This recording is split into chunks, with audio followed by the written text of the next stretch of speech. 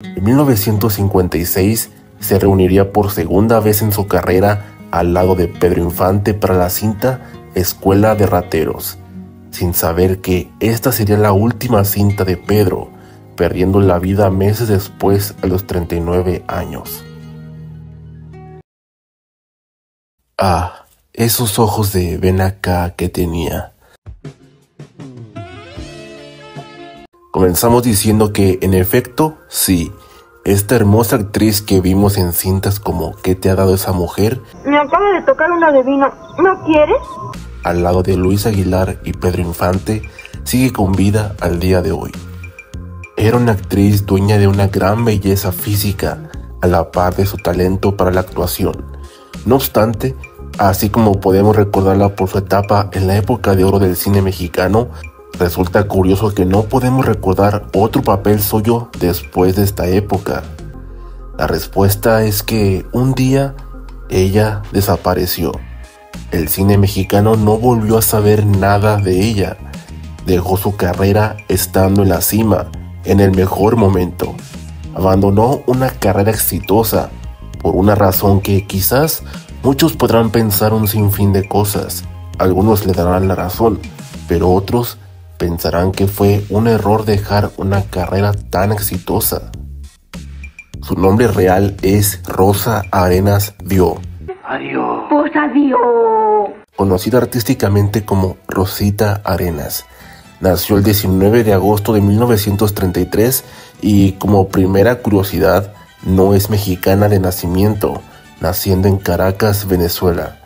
Sin embargo, su padre, Miguel Arenas, un famoso actor mexicano nacido en España, junto con su esposa, registraron a su hija en la Embajada de México, pues querían que su hija tuviera la nacionalidad mexicana, al igual que ellos.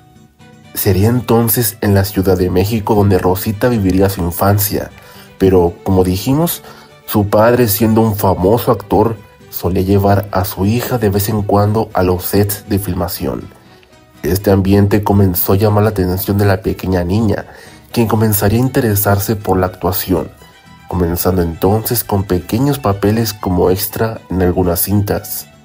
El punto donde su historia se conecta con María Félix y Elsa Aguirre, quien aún vive por igual, es cuando Rosita resulta ganadora de un concurso denominado Reina de la Primavera, concurso que anteriormente habían ganado por igual las actrices mencionadas, por lo cual ganar este concurso pronosticaba un gran éxito, y así fue. Entonces, al ganar este concurso, el cine mexicano la buscaría de inmediato, y el que era conocido como el director del pueblo, el gran Ismael Rodríguez, la buscaría para ofrecerle el papel de Marianela en la cinta que te ha dado esa mujer. Como una curiosidad más, gracias a estos papeles, ella decidió abandonar sus estudios de contabilidad para dedicarse de lleno al cine.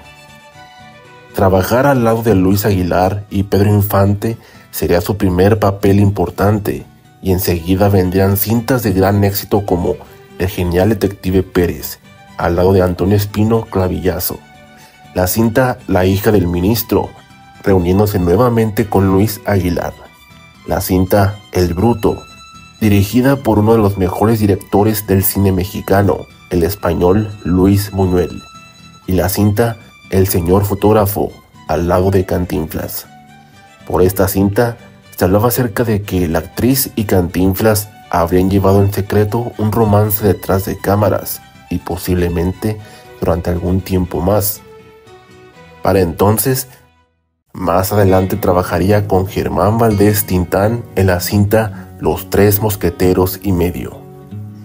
En 1956 se reuniría por segunda vez en su carrera al lado de Pedro Infante para la cinta Escuela de Rateros, sin saber que esta sería la última cinta de Pedro, perdiendo la vida meses después a los 39 años. Era tan grande el éxito de Rosita Arenas que en tiempo récord llega a su vida la oportunidad para filmar en España e Italia, oportunidades que por supuesto no desaprovechó.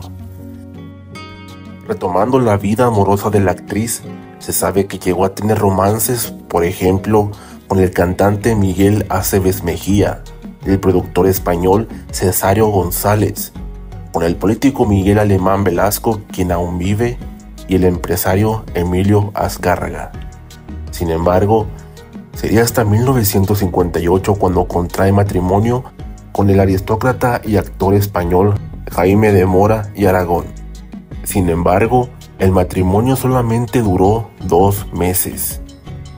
Para 1960, el amor llega de nuevo a su vida, contrayendo por segunda vez matrimonio ahora con el actor Abel Salazar, con quien llegaría a tener dos hijas, siendo una de ellas Rosa Salazar Arenas, una importante guionista de televisión. Debido a su matrimonio, en 1963 filmaría su última cinta titulada La maldición de la Llorona, pues es cuando decide retirarse para vivir su vida dedicada a su familia. Sin embargo, en 1980 se divorcia por segunda vez, por lo que decide retomar su carrera, incursionando ahora en las famosas teleseries en la empresa Televisa.